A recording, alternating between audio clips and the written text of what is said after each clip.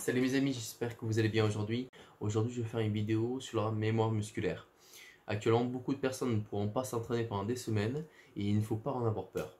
C'est surtout sur un aspect plutôt mental que le manque réel d'entraînement peut être préjudiciable. C'est pour ça que soyez amenés à plutôt cultiver des pensées positives, avoir des lectures intelligentes qui vont dans ce sens. Pour revenir sur le fond du sujet en rapport à la mémoire musculaire, il faut comprendre une chose que lorsqu'on s'entraîne, lorsqu'on a une activité physique, lorsqu'on répète une action spécifique pendant des années, on va modifier en fait l'état dont le corps fait est. Je m'explique. Imaginez votre fibre musculaire euh, d'une certaine façon initialement qui n'a jamais été stimulée.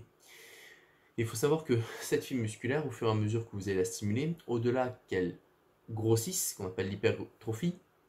On peut avoir aussi un, schéma d'hyperplasie via un dédoublement par de la cellule, mais vous allez au sein même de la cellule, musculaire je parle, euh, activer des noyaux, des noyaux nucléus spécifiques qui sont en fait répondants d'un stimuli, par exemple d'un stress mécanique, euh, d'un stress métabolique au point de vue de la musculation. Donc je fais un travail à résistance, j'envoie un, un messager chimique au sein de mes cellules, et ces cellules-là enregistrent l'idée qu'il faut en fait se renforcer pour de nouveau faire un effort. Donc ce renforcement se fait sur plusieurs jours.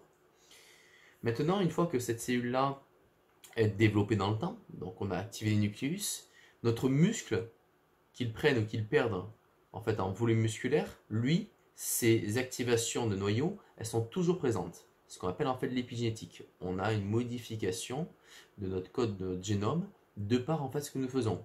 Une personne qui fume va par exemple augmenter les capacités euh, et euh, les mécanismes par exemple du cancer, etc. Une personne par exemple qui est extrêmement sédentaire euh, va, on va dire, verrouiller certains gènes de santé et activer d'autres gènes de la maladie. Une personne par exemple qui fait du sport, qui ne fume pas, qui a un mode de vie relativement sain, va désactiver par exemple certains, on va dire, codes du génome qui auraient pu l'amener à avoir un cancer. Donc autrement dit, ce que vous faites au quotidien modifie profondément en fait ce que vous êtes euh, au quotidien sur tout le reste de votre vie. Donc quand vous allez au nord, ben, votre corps va au nord, sachant que par exemple le nord c'est la santé. Et inversement, si le sud c'est la, maladie, et bien quand vous allez dans le sud, au fur et à mesure, votre corps en tant que tel, tout le renouvellement cellulaire va dans le sud. Je vous ai fait des articles complets sur mon site web, Royauto Coaching, section donc articles, sur la mémoire musculaire, sur l'épigénétique. L'un vous explique via des études qui ont été déjà faites que via l'épigénétique, c'est par exemple une personne qui a un lifestyle sportif, mange sainement, un état d'esprit sain, va avoir donc une expression des gènes positive.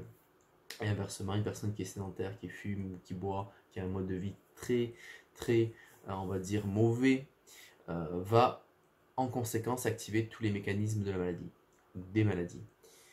Parallèlement à ça, comme je expliqué, lorsque vous allez arrêter l'entraînement, une semaine, deux semaines, trois semaines, quatre semaines, cinq semaines, six semaines, etc., certes, vous allez avoir une forme musculaire.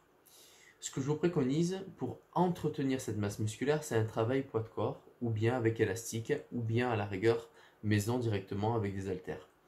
J'ai pu euh, préparer des vidéos dans le passé en rapport à des exercices élastiques, des exercices poids de corps, des exercices d'entraînement à la maison avec Alter.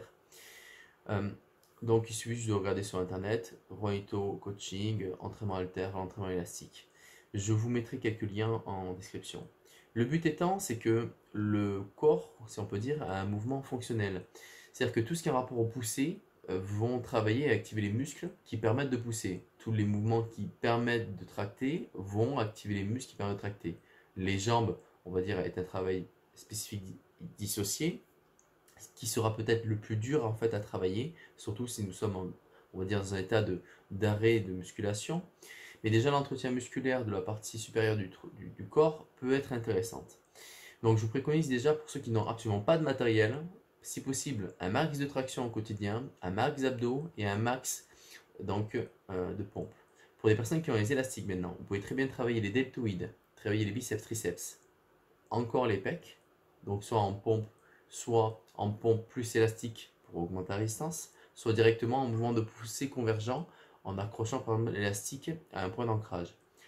Pour les dorsaux, donc avec élastique, c'est du rowing, tirage, donc on accroche à un élément élastique et on fait un tirage. Tirage forcément qui sera en série longue puisque l'élastique n'aura pas une grande distance. Essayez d'engager un maximum donc, euh, de gainage lorsque vous faites ces, ces mouvements-là pour ne pas vous faire mal. Et puis bien sûr, toujours ce travail avec traction.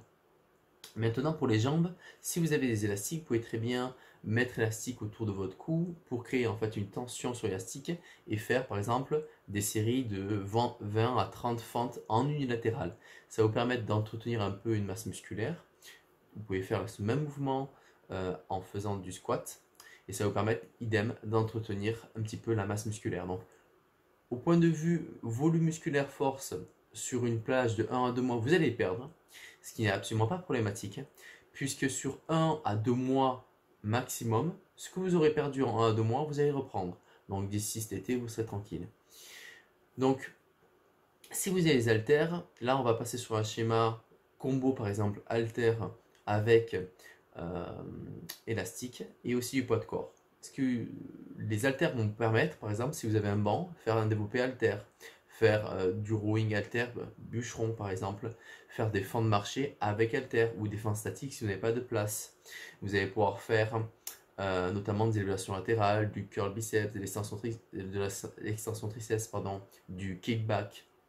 Donc déjà vous avez euh, pas mal de mouvements. Vous pouvez faire du globé squat par rapport au aux jambes. Vous pouvez faire un hip thrust en unilatéral pour travailler le fessier. Vous pouvez faire donc euh, pas mal de mouvements du soulevé terre jambes. Tous ces mouvements-là, faites-les, on va dire en série plus ou moins longue, 20 à 30 répétitions, ça vous permet de travailler votre endurance de force.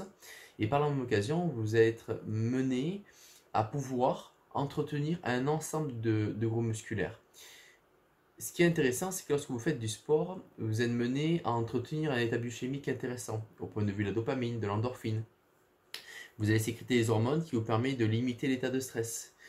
Comme vous allez être dans un contexte un petit peu stressant, entre les médias, entre l'état de ne pas pouvoir sortir de chez soi, je vous invite fortement euh, à faire donc un petit travail d'activité physique au quotidien. Si vous pouvez supplémenter ça avec un travail par exemple de euh, relaxation, de respiration, de méditation, de cohérence cardiaque, faire des méditations guidées via par exemple YouTube ou autre si vous ne êtes pas initié, je vous invite à le faire. Essayez de toujours avoir euh, au quotidien un environnement qui vous est en fait le plus sain. Donc euh, si par exemple vous commencez à vous disputer avec telle ou telle personne, essayez de trouver en fait un terrain d'entente. C'est pas la peine parce que actuellement, euh, il est important de comprendre que plus vous serez mené à faire attention à votre état de pensée, votre corps, votre alimentation, plus euh, la reprise sportive, suite donc à ce confinement actuel que nous sommes en 2020, sera facilitée. Je vous dis à bientôt et bon courage pour la suite.